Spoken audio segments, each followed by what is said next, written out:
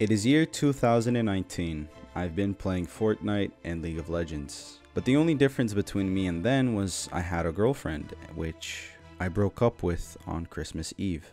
Now it is 2020 and I'm still kind of heartbroken because you just feel empty after things like that. But I hear that there's a new game called Project A. My friends talked about it and they told me that you should watch streams on Twitch to get the key to play the game, which kind of got me hyped up. And the thing is, I've decided if I do get the key, I will be going and trying to become famous in the game. But after two hours of watching the stream, I gave up.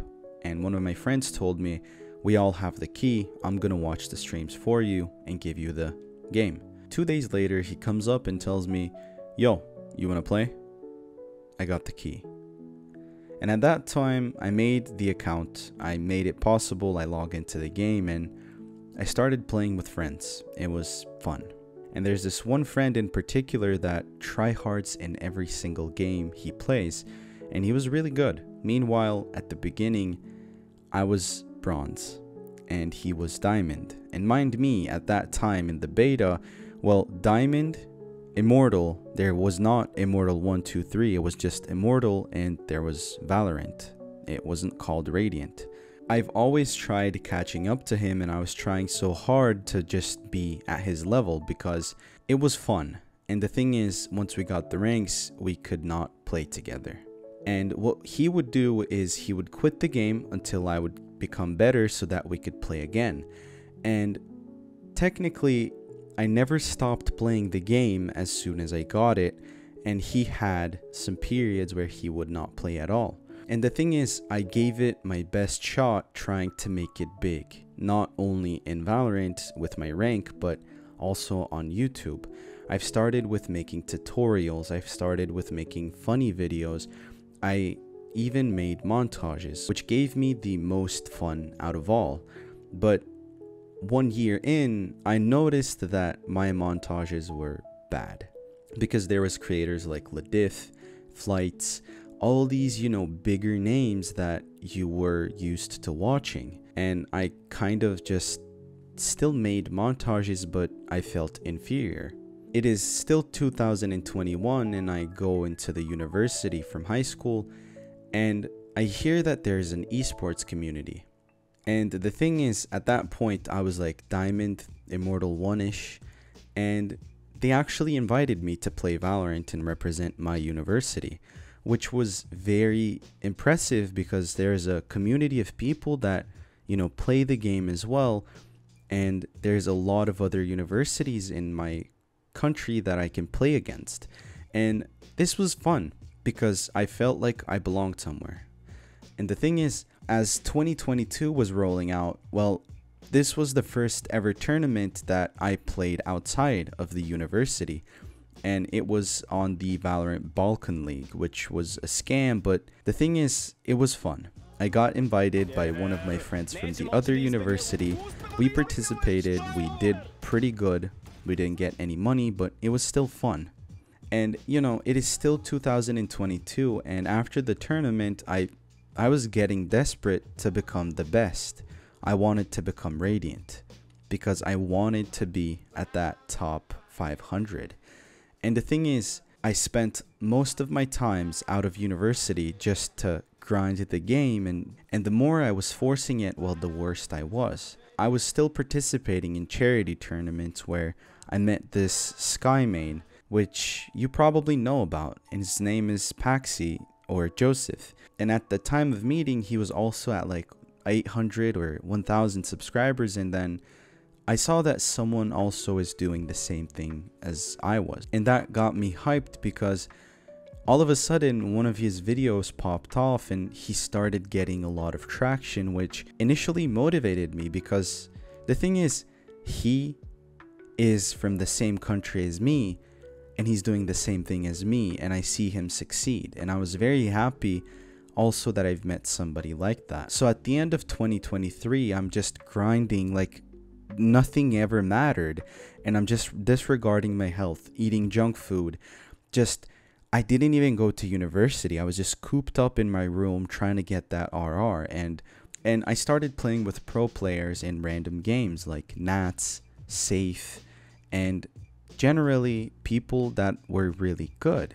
And finally, on September 9th, after so many tries, it was not a dream. In 2023, I got Radiant. And it did take me three years, but I started with nothing. I started with bronze and I was solo queuing most of my games. And after I did hit Radiant, I felt empty. I didn't want to play the game because I've seen that there's nothing more to it. I'm not getting any followers, nobody likes me. And that's when I started focusing on my anime channel, which was doing really well at the time. So, nine days after, you know, quitting the game, I just run up one random game and it was on Breeze. And at that time, I've met someone that was very special to me because in the prime time of Fnatic, when Doma was playing in the game, I've adored the lineup because simply Derke, Boaster, Magnum, Doma, and Mistic were amazing. And simply because Doma was Croatian, that made me love Fnatic a lot more. And in this game of Breeze, in the second round, I hear a voice that I recognize. I ask, But are you by any chance Derke? Yeah, I guess try. Damn, bro. Hey, I love you, man. Oh, They're like, fucking hell, man. But anyways, it was an amazing game. I loved every second of it. And it's a really good surprise that I come back to the fucking game and then is what it is. what the fuck? What the fuck? Bro, he sent me a friend request. I wanted to show gratefulness and I wrote a cringy message to him after we played the game. And what happened is he added me as a friend, made me not quit the game. I am very grateful to Derke for this, but the thing is that if that day did not happen, I would probably not play Valorant ever again because I saw that life was more than just playing video games, which is very self-explanatory, but but when you're so locked in something, well, you just don't see anything else. And then my roommate that hated video games also started playing Valorant and she just enjoyed the game and we played here and there, but I still solo queued. And one day I came to her room and then I just did a Brimstone voice line and it sounded very good. Now, this doesn't matter too much, but on November 18th, 2023, I met BenjyFishy and Riens in a random game. These guys, mind me, are professionals that are playing in Champions right now. BenjyFishy was an idol for my brother once when he was still playing Fortnite, so it was like a big moment for me. And also Riens is an amazing guy and I'm very happy that we met. But mainly the only reason they liked me so much was because I was able to do the Brimstone voice lines. But I still appreciate them very much. On February 25th, 2024, I was playing my first ever serious LAN with the university team but we were playing to qualify to play University Esports Masters, where all of the universities from Europe would band together and compete who's the best. And meanwhile, I also got an opportunity to play for a team that was backed up by a company. And the thing is, I was a regular student. I was not irregular, so that means I have to attend classes normally. And I didn't have the motivation to play that much. And the team agreed that they would drop me the LAN that we played, we won it. And we got to play the University Sports Masters. And after seeing the opportunity to play in a bigger tournament, it is what it is. Uh, we ended up losing the tournament. We were like eighth. We lost to Ukraine. But, you know, after seeing an opportunity that I could play in Game Gang 2024, I decided I want to sign in. But there's a problem since the ex team that I played in signed me as their sixth player, well, I couldn't join. But after I reached out to the admins, they agreed that I could play and make a new team. And so I did. I took the best people that I knew from the universities of Croatia, and then we decided to give it a go. Mind me, the team that dropped me, they did not qualify. Meanwhile, we were trying hard, so we only had to win one more game and we would be in the top three. And that happened. So with four people that I don't hang around with usually, I'm going outside of my country for the first time just because of a Valorant tournament. And that's when me and them went to Slovenia. We ended up being third, everybody got 50 bucks, and the thing is, what made me really happy is I got my own VLR page just because of that tournament. And I've had this journey for a long time and I tried and I tried and I tried. I didn't make it as big as some of these creators did, but the thing is, I gave it my best. I even got to Radiant. I played in a LAN tournament. I've met amazing people that I watch all the time on the screen.